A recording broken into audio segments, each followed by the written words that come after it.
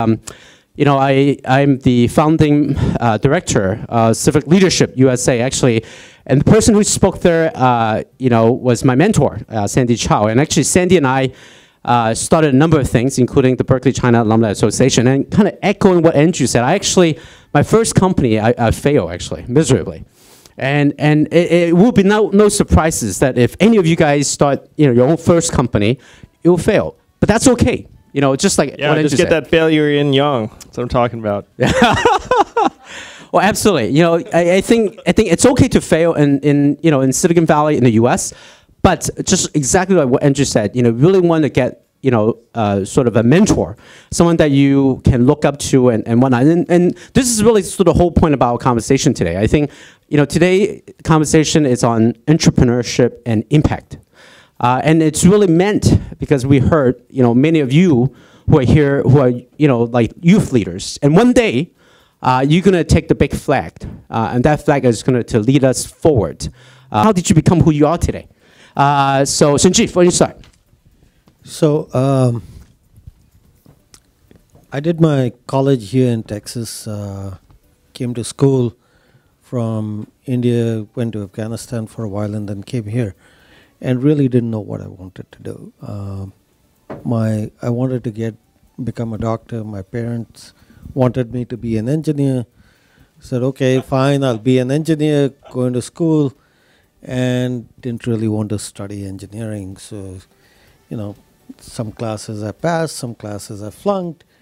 Anyway, I went, took about five years, graduated from uh, Texas Tech and Lubbock Christian University, and then decided uh, my final year, at uh, the first year I didn't get, I got D's and F's, and the final year I had straight A's, and my uh, teachers said you don't need to take your finals.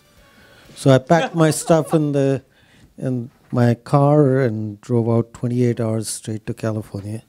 My brother was here, came home, and didn't know what to do. He was starting a company at that time, and uh, he said, "Hey, why don't you join me?" And so I got became an entrepreneur essentially, but literally not knowing what I wanted to do in my life. And uh, I think so. I'm an accidental entrepreneur. Uh, but you know, it's it's as I went along, I thought I could be a teacher. I was studying math, and I said, you know, that's something I really love. I like math, and I like uh, helping kids. Other students would come to me and learn, and it was great. But uh, in those days, with math, you could not do very much. You could not get a job. You could not make any money. So started off with my brother making seven hundred dollars a month, and uh, you know we were starting off, and went about building a pretty successful company. Took it public in '94 on the Nasdaq, Wow. um, and then uh, uh, I, my father, who was uh, working for the Indian government, resigned and came here and uh, went to school. At the age of 52, he went and did a PhD at Ohio State. And uh, he came here and uh, moved to the valley as well. And he said, Hey, I want to start something. And so he started a med device company, and I joined him, helping him raise money, put a business plan together. And it, that would, it gave me, in that process, we started working on a device for breast cancer, and it was, you know, came across people who had passed away with breast cancer, their their wives or others, and uh, started to see that what we were doing was making a difference in, and I was at the same time helping with Seprogen, and uh, one of our uh, senior VPs came down with cancer, and uh, we were working with a company called Amgen down in Thousand Oaks, LA, and uh, they came up with a drug which was made on the product we were making. Otherwise, that drug would never have been made. And Ernie Gruen uh, talked to my brother and me one day while he was in the hospital, And he said, You know, had we not done this, I would not be alive.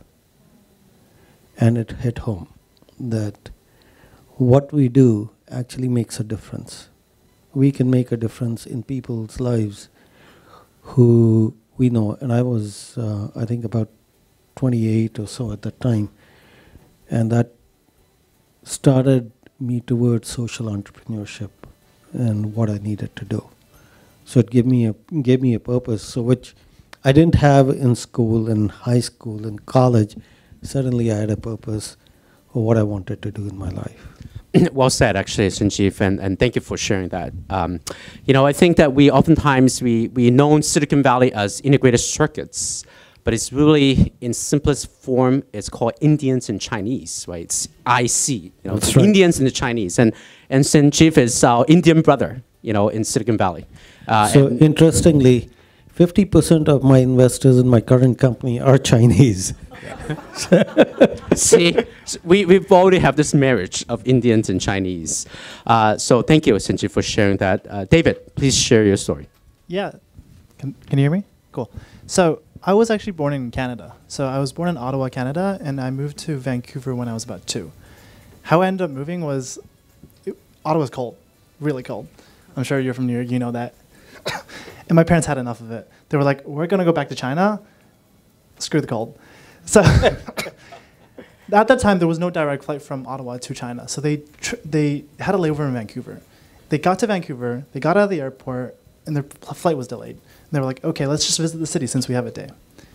They got out, they went to the city center, and they're like, we love it here. We're just going to stay. So they never went back to China, and that's how I ended up in Vancouver. So cool. that was my Vancouver story. That's how. That's why I was raised in Vancouver. And throughout my entire elementary, middle school, high school life, I was Vancouver. I, never thought about leaving Vancouver until it was time to apply for colleges. And everyone asked me, "What do you want to do?" And I was like, "I have no idea." People were like, "Be a doctor," and I was like, "Nah." They're like, "Be a lawyer." I'm like, "Maybe, not really." And then I end up I couldn't apply to anything because everything in Canada was you have to be a specific path, you have to do this or that. So I was like, I just want to be in a city with good weather. So I came to San Francisco. That's how I came here. And I, I went to Berkeley and I studied business. So Hey, you guys kind of listen up. What David said is he had to come all the way, all the way from Canada to be here.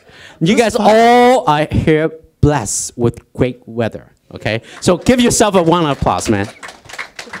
so, so that's how I came here. And during that time, so when I was in high school, when I was 15 years old, 14, 15, I started an organization called Social Diversity for Children Foundation. And it was because there was a bunch of things that were happening, but I really wanted to make my voice heard in the community and not just have the adults in the room speak on behalf of me. And I thought, why don't I just bring youth together? And if we have enough youth together, we can make an impact, we can make noise, we can actually do something. And that's how it ended up starting to what it, I built it today. So. Well, that's awesome. Um, you know, thank you for sharing that, David. Uh, the comment I really want to make is just to, to reinforce David's experience for the young people here, because when I raise your hand, um, so there, uh, the the skills required to be an entrepreneur, like the stuff we're talking about, like it seems I know like very very advanced and far out. Um, but what he did at 14 is something that any of you can do. And as a young person, you have like a, a real power around your youth. Um, so there are two types of things you can do. One is start a business, which has its own suite of things, and then there's help a nonprofit or uh, push a cause forward. And there, the second is actually much, much more there for you because if you reach out to people because you're young, they have to say yes and help you. If they do not, then they are not nice people so you can use your youth and say hey i care about this like this organization. Just think about like right now as i'm talking to you like what do you care about? And it could be it's like i really care about this community. So you can help out with CLUSA or BRI it's like i really care about uh, girls in developing countries. I really care about um, education. So like and then you can do what david did and every nice person has to help you and then when they start helping you, um, you will end up building the entrepreneurial skills because you're constantly like, you know, telling a story and selling your idea and like it's not even your idea. It could be like, hey, this is why you should care. You end up building different types of relationships, better relationships. Um, when you send messages to people and say like, hey, will you help me? Some people that help you, you'll end up becoming much better friends with Uh, and so this is one way you can start developing the muscles young in a way that's very, very immediate, and you can do a ton of good. Well said, Andrew.